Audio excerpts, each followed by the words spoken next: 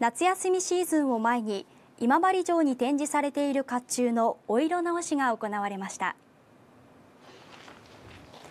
今治城の天守には市民から寄贈されたり市が購入したりした江戸時代の甲冑20着が展示されています。この甲冑をより美しく展示するため観光客が増える夏休みシーズンを前に10年ぶりにお色直しが行われました。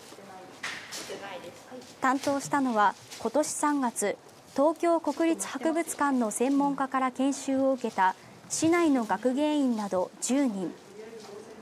学芸員らはまず化粧用のブラシを使って長年の展示でたまったほこりを丁寧に取り除いていきます。続いて飾り直しに挑戦。兜を目深にかぶって顎は引きこれまで甲冑の中に詰め物などをしていた演出はやめて武士らしい武田しさを表現できるよう工夫したそうです。いかいかつくはなりましたと思います、うん、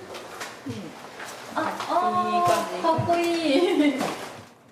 い。より甲冑の魅力があの伝わるようにあの、はい、あのいい展示にしていきたいと思いますので、はい、あのぜひまた今治城の方にお越しください。この日は1日かけて5着の甲冑がお色直しされケースには以前より威厳に満ちた甲冑たちが並びました。